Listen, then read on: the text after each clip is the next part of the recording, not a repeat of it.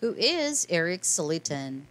Erik Salitan is a TV star best known for his appearance in the show Life Below Zero. He is a hunter and guide who runs a bushwhack Alaska guiding and outfitting company. His company guides tourists who come to visit Alaska. Erik Salitan was born in New York, USA. He is currently 38 years old. He appeared in Life Below Zero between 2013 to 2016. Erik Salitan's life journey. Erik spent his early life in New York and he had an adventurous spirit from his early life. He did his matriculation from the Finger Lakes Community College and he went to Alaska after that. In New York, he joined the University of Alaska. He graduated with a bachelor's degree in applied science in 2006. While in Alaska, he became interested in the wilderness. He used to wander alone. Later, he was joined by Martha. He also moved to live his life in a very far cabin from the urban part of Alaska. While he was living his life in a cabin in Alaska, he learned to hunt animals and prepare their meat. Slowly, he learned to set traps to make a living in the wilderness of Alaska. He also learned hunting and tracking. Later, he opened his own company called Bushwhack Alaska Guiding and Fitting, and now currently he also has two lodges that provide food and accommodation to Alaskan tourists. What happened to Erik Salitan in Life Below Zero? Life Below Zero is a documentary TV series that depicts the life of hunters from Alaska.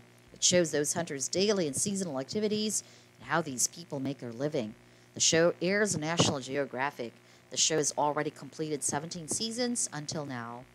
Erik Salitan came to Life Below Zero in 2013, and the show had other cast members like Andy Bassich, Chip Hailstone, and Sue Aikens.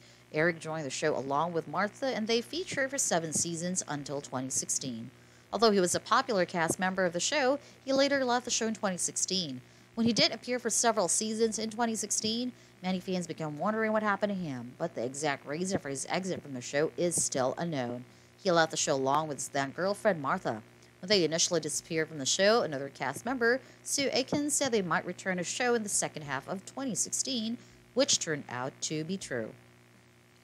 Erik and Martha returned to the show in season 7 and they appear in the show for three episodes, but they left the show permanently after that. According to the rumors, they left the show so that they could give time to raise her son and run their business. Why did Erik Salitan leave Life Below Zero? Later, Erik appeared in an interview and revealed the exact reason for his exit from the show. He said that he didn't like the show's premise. He didn't feel comfortable working on the show's premise. He wanted to live his life on his own in the wilderness without any cameras and the helicopter following him. Erik Salitan's wife. Erik is now married to his then girlfriend, Martha Mae. The two walked down the aisle somewhere in 2010. Martha Mae is also a co founder of Bushwhack Alaska Guiding and Outfitting. She was born and raised in Alaska. The couple now has a son, Lucas. Lucas is now eight years old and is attending his school, Wood River Elementary. He is often seen following his father on his hunting trips after school. Erik Salitan's net worth. Erik has been in the hunting industry for a long time and has made a living from the same. He has opened his own company and runs two lodges to help him make his living. According to the reports, Erik's net worth is nearly $500,000. Erik Salitan's social media life. It looks like Erik is enjoying his life in the wilderness, hence, he doesn't have any social media accounts as he doesn't seem interested in the digital world.